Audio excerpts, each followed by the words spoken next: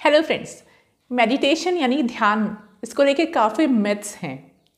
कुछ लोगों का मानना है कि मेडिटेशन कुछ शांत जगह पे किया जाना चाहिए या उसके लिए एक जगह आपको बैठना पड़ेगा।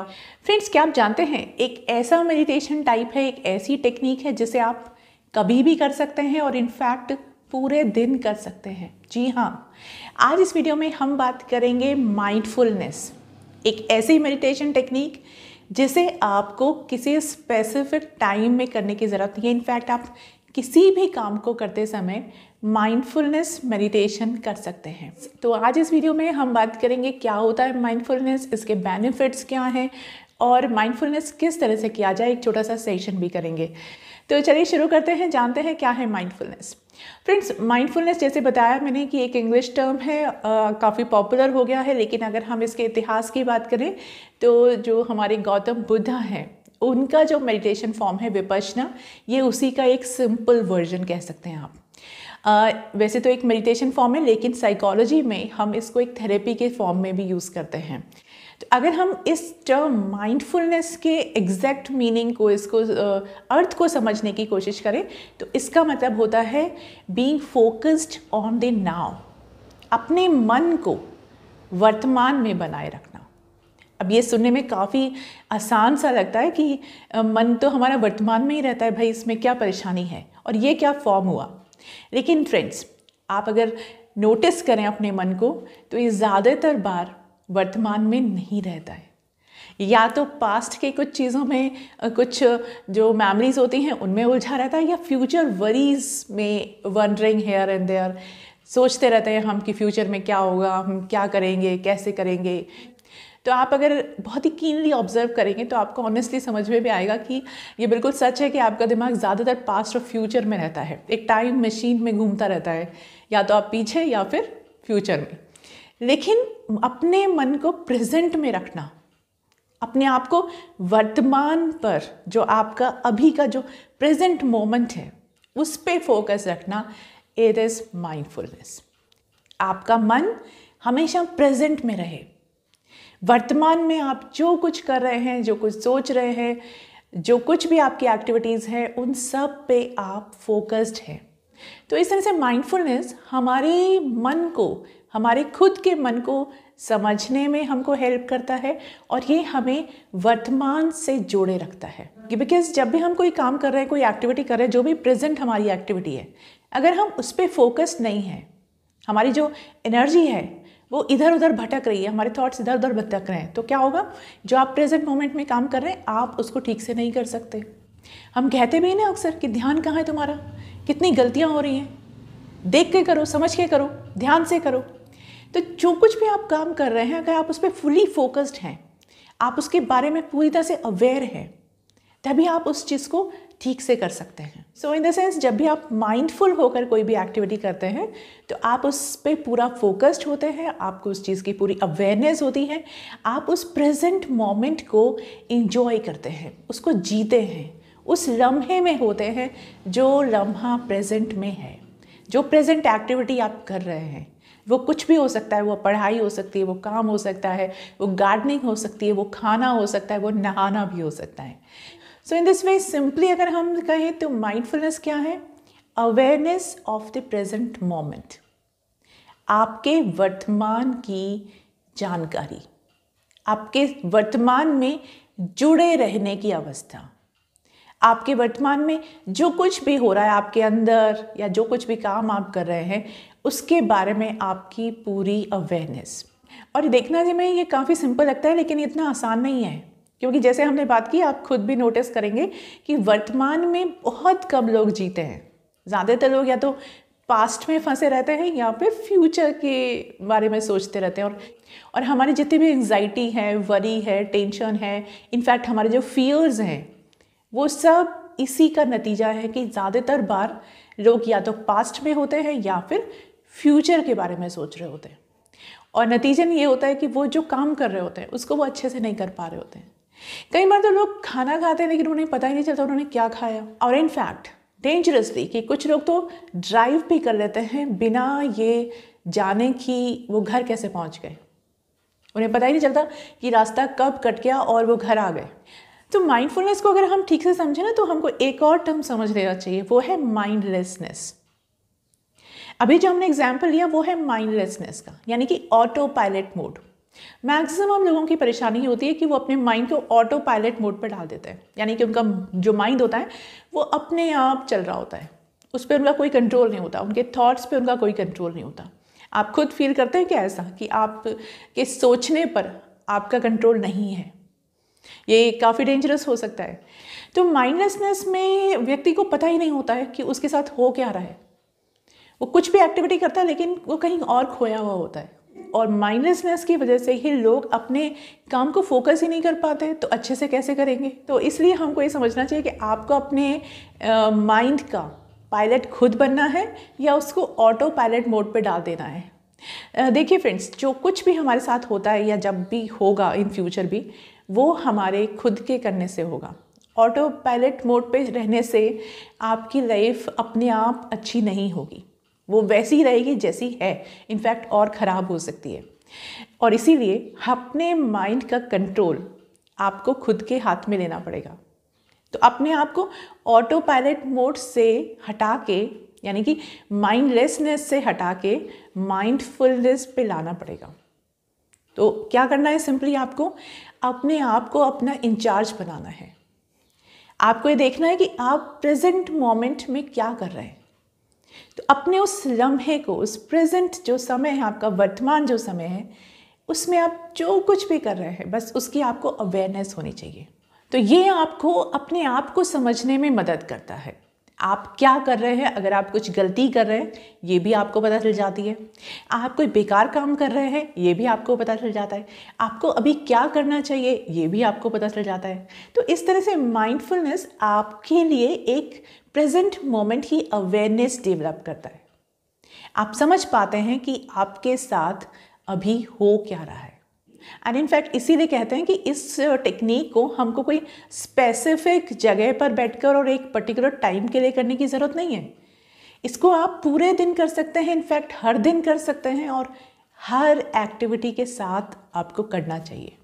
लेकिन क्योंकि हमारी आदत नहीं है, हमारे मन की आदत नहीं है कि हम प्रेजेंट में रहें, इसलिए आपको इसकी प्रैक्टिस करने के लिए कुछ समय निकालना पड़ेगा। आपको इसे अपनी आदत में शुमार करना पड़ेगा, अपनी आदत बनानी होगी कि आप देखें कि आप प्रेजेंट में क्या कर रहे हैं। अभी आपके साथ क्या हो रहा है और क्या होना चाहिए। तो जैसे ही आपकी अवेयरनेस डेवलप होती है, आप माइंडफुल होते हैं, आपका कंट्रोल आपके पास आ जाता है है ना? बस हो गया मेडिटेशन और इसीलिए माइंडफुलनेस को हम किसी टाइम बाउंड एक्टिविटी में नहीं बांधते। हम हर एक्टिविटी को माइंडफुल बना सकते हैं। माइंडफुलनेस हमारी एक आदत बननी चाहिए कि हम जो कुछ भी काम करें, हम उसमें पूरी तरह से एब्जॉर्ब होके करें, उसकी पूरी अवेयरनेस के साथ करें, पूरे फोकस के साथ करें। तो अगर हम बात करें इसके बेनिफिट की तो यही इसका सबसे बड़ा बेनिफिट है। फ्रेंड्स अगर आप माइंडफुलनेस की प्रैक्टिस करते हैं तो एक तो उसका इमीडिएट इफ़ेक्ट मिलता है आपको। आप जो कुछ भी काम से शुरुआत करें, आपको तुरंत पता चलेगा कि आपने उस पूरे मोमेंट को भरपूर अवेयरनेस के साथ में किया है। और यही इसका बेनिफिट है। क्योंकि जब भी आप कोई भी एक्टिविटी माइंडफुलनेस के साथ करते हैं तो आपकी परफॉर्मेंस इन्हेंस होती है। आपने उस एक्टिविटी में अपने आप को पूरी तरह से डुबो दिया। आपको उसकी पूरी अवेयरनेस है। तो आप उसको पूरे ध्यान से करेंगे। तो होगा क्या? आपकी गलतियाँ कम होंगी तो आपकी परफॉर्मेंस इंक्रीज हो जाएगी। दूसरा माइंडफुलनेस आपके टाइम को सेव करता है। क्योंकि जब आप माइंडफुल होकर काम करते हैं, आप डिस्ट्रैक्टेड नहीं होते हैं, आप वो जो भी एक्टिविटी कर रहे हैं प्रेजेंट मोमेंट में, उसमें पूरी तरह से एब्जॉर्ब होते हैं, पूरी तरह से फोकस्ड होते हैं, पूरी अवेयरनेस के साथ करते हैं। तो आप देखेंगे कि आपकी परफॉर्मेंस ना स्पीडली होने लग गई है, आप टाइम सेव करेंगे। आप पहले जो काम एक घंटे में करते थे, आपको लगेगा कि अब आपको बहुत कम समय लगता है, क्योंकि जब भी आपका फोकस इंक्रीज हो जाता है ना तो आपकी जो काम करने की जो स्पीड होती है, वो बढ़ जाती है। तो ये आपके स्पीड को बढ़ाता है, इस तरह से ये आपके टाइम को सेव करता है। और दूसरी बात, जब भी आप माइंडफुलनेस से काम करते हैं तो आप पास्ट और फ्यूचर में नहीं होते हैं। आप प्रेजेंट में होते हैं। ये भी आपकी टाइम को सेव करता है। क्योंकि ज़्यादातर लोग क्या होते हैं, जब भी कोई काम करने बैठते हैं तो खोए हुए होते हैं। आधे समय पास्ट में, आधे समय फ्यूचर में। तो वो जो प्रेजेंट का काम होता है वो डिले हो जाता है। उनका टाइम बहुत किल हो जाता है ओवर थिंकिंग में या आ, उन चीज़ों के बारे में सोचने में जो कभी पहले हो चुकी हैं या कभी बाद में होगी। और उस चक्कर में वो अपना पूरा समय बर्बाद कर देते हैं। तो जो काम थोड़े से देर में हो सकता था उसके लिए उनको बहुत ज़्यादा समय लगता है। और इसीलिए टाइम मैनेजमेंट के साथ भी माइंडफुलनेस सिखाया जाता है समझाया जाता है। क्योंकि हमारे पास में लिमिटेड टाइम होता है। हमको एक तय समय में एक काम को पूरा करना होता है और सही तरीके से पूरा करना होता है। हमारे पास में बहुत ज़्यादा गलतियाँ करने की गुंजाइश नहीं होती कि हम एन नंबर ऑफ़ टाइम उसको रिपीट करते रहें। तो अगर आप टाइम मैनेजमेंट को फॉलो करते हैं तो आपके लिए माइंडफुलनेस बहुत ज़रूरी है, क्योंकि आपके समय को बचाने में आपको माइंडफुलनेस हेल्प करता है। और थर्ड इंपॉर्टेंट बेनिफिट इज़ कि माइंडफुलनेस आपकी एंजाइटी वरी टेंशन आपकी ओवर थिंकिंग की आदत, आपके फियर्स ये सबसे आपको ओवरकम करने में हेल्प करता है। And one more important benefit है कि अगर आप जब माइंडफुलनेस को अपनी आदत बना लेते हैं तो आप देखेंगे कि आपके जो ब्रेन की पावर है वो बहुत बूस्ट हो जाती है। आपका फोकस लेवल इंक्रीज हो जाता है। आप एक एक्सटेंडेड लेवल ऑफ़ कॉन्शियसनेस को फील करेंगे। और ये आप खुद अपने अंदर फ़र्क महसूस करेंगे कि बहुत सारी ऐसी चीज़ें थी जिनके बारे में आप पहले आ, सोच या समझ ही नहीं पाते थे। आप वो काम कर डालते थे और आपको पता ही नहीं चलता था कि उसमें क्या डिटेल्स हैं, उसमें क्या कुछ स्पेशल है। आपने कभी नोटिस ही नहीं किया। तो जब आप माइंडफुलनेस से काम करेंगे ना तो आप देखेंगे कि आपकी कॉन्शियसनेस का एक एक्सटेंडेड फॉर्म डेवलप हो गया है। आप बहुत सारी डिटेल्स को नोटिस कर पाएँगे। अपने चारों तरफ़ बहुत सारी ऐसी सेंसेशंस होंगी, ऐसी ब्यूटी होंगी जिनको आप पहले इग्नोर करते थे। आपका ध्यान ही उन पर नहीं जाता था, क्योंकि आप तो कहीं और होते थे ना। तो आप जब माइंडफुलनेस से काम करेंगे ना तो आपको उन चीज़ों के बारे में अवेयरनेस डेवलप होती है। And another important benefit is कि जब आप माइंडफुलनेस को प्रैक्टिस करना सीख जाएँगे तो आप देखेंगे कि आपकी एनर्जी लेवल बढ़ गया है। आपकी मेंटल एनर्जी बूस्ट होती है। कैसे? वो एनर्जी जो आप पहले वेस्ट कर रहे थे इधर उधर जो आपकी डिस्ट्रैक्शन में जा रही थी, जब वो आप सेव करते हैं तो आपको अपना एनर्जी लेवल बढ़ता हुआ महसूस होता है। क्योंकि अब आपने पास्ट और फ्यूचर के जो खिड़की दरवाजे थे वो बंद कर दिए हैं तो आप प्रेजेंट मोमेंट में हैं। हालाँकि ये देखने में, सुनने में काफ़ी आसान लगता है, लेकिन क्या ये इतना आसान है? नहीं। ये हमारे मन के लिए काफ़ी मुश्किल होता है कि हम किसी एक चीज़ पर, एक काम पर उसको काफ़ी लंबे समय तक फोकस्ड रख पाएँ। तो अगर हम ये चाहते हैं कि हमारी एक आदत में शुमार हो, हम माइंडफुल होकर हर काम करें तो हमें इसकी प्रैक्टिस करनी पड़ेगी। हमको इसकी अपनी एक आदत बनाना पड़ेगा, अपने मन को स्थिर बनाने के लिए, अपने माइंड को फोकस्ड रखने के लिए प्रेजेंट मोमेंट में। तो माइंडफुलनेस को शुरुआत करने से पहले आपको अपने मन को एक चीज़ बतानी है कि आपको अपने आप का, अपने वर्तमान का दृष्टा बनना है। आपको एकदम शांत होकर अपने आप को ऑब्ज़र्व करना, अपने आप को फोकस करना, अपनी अवेयरनेस अपने प्रेजेंट मोमेंट पर फिक्स करना सीखना है। सिर्फ़ एक दृष्टा की जैसे आपके साथ क्या हो रहा है, आप वर्तमान में कैसा फील कर रहे हैं, आपको किस तरह के थॉट्स आ रहे हैं, इन सबको आपको सिर्फ़ नोटिस करना है। तो जैसे कि हमने बात की कि माइंडफुलनेस के लिए हमें वैसे तो कोई समय तय करने की ज़रूरत नहीं है, कुछ जगह तय करने की ज़रूरत नहीं है, हम कभी भी किसी भी एक्टिविटी के टाइम पे कर सकते हैं, पर क्योंकि अभी हम इसको सीख रहे हैं, हम अपनी इसको आदत बनाना चाहते हैं तो इसको हमको लर्न करना पड़ेगा। तो शुरुआत में हमको एक थोड़ा सा फॉर्मल तरीके से करना पड़ेगा और फिर आप उसको हर एक्टिविटी के साथ भी कर सकते हैं। तो सबसे पहले किसी भी आरामदायक और शांत जगह पर जहाँ भी आप कंफर्टेबली बैठ सकें 10 15 20 मिनट, आप एक जगह ज़मीन पर आसन लगा के बैठ जाएँ। कोशिश करें कि कोई डिस्ट्रैक्शन नहीं हो, क्योंकि ये आपको शुरुआत में काफ़ी मुश्किल लगने वाला है। तो डिस्ट्रैक्टर्स होंगे तो ये आप फोकस थोड़ा सा नहीं अच्छे से कर पाएँगे। तो सबसे पहले आसन बिछा कर बिछाकर जमा कर एक आरामदायक मुद्रा में ज़मीन पर बैठ जाइए। उसके बाद अपने आप को शरीर को ढीला छोड़ दें। अपनी आँखें बंद कर लें अपने हाथों को, अपनी बॉडी मसल्स को पूरी तरह से रिलैक्स कर दें बॉडी को एकदम धीरा छोड़ दें। अपने मन को शांत करने की कोशिश करें, अपने आप पर कॉन्सेंट्रेट करें। अपने अंदर अपने आप को महसूस करना शुरू करें। और माइंडफुलनेस में आपको कोई स्पेशल टाइप्स ऑफ़ ब्रीदिंग करने की ज़रूरत नहीं है। आप नॉर्मल ब्रीदिंग करते रहें आराम से, जैसे आप नॉर्मली इनहेल करते हैं एक्सेल करते हैं, वैसे करिए। लंबी सांस लेने की ज़रूरत नहीं है, गहरी सांस लेने की ज़रूरत नहीं है। जो आपका नॉर्मल ब्रीदिंग प्रोसेस है, बस वैसे ही करते रहिए। बस अपने आप को शांत करिए। अपने शरीर को ढीला छोड़ दीजिए। अपनी आँखें बंद करके अपने आप पर फोकस करिए और अपने इस ब्रीदिंग प्रोसेस पर फोकस करिए। इसको डेलिबरेटली कुछ भी करने की ज़रूरत नहीं है। जो अपने आप हो रहा है, बिल्कुल उसको अपने आप होने दीजिए। तो just close your eyes relax your body and एकदम काम होके, शांत चित होके अपने आप, अपने अंदर फोकस करते हुए, अपने सांसों के अंदर और बाहर जाने की प्रक्रिया। अपने सांस के अंदर लेने की और अपने सांस को बाहर छोड़ने की जो प्रक्रिया है, उस पर पूरी तरह से अवेयरनेस डेवलप करिए।